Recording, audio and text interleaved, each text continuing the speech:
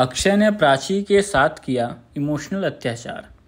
जी TV के popular show Kumkum Bhagya में दबदार ड्रामे की एंट्री हुई है। शो में आप सभी देखेंगे कि प्राची और रणबीर की शादी की तैयारियों को देखकर अक्षय बेहद परेशान हो जाता है और वो गुस्से में घर में तोड़फोड़ करने लगता है।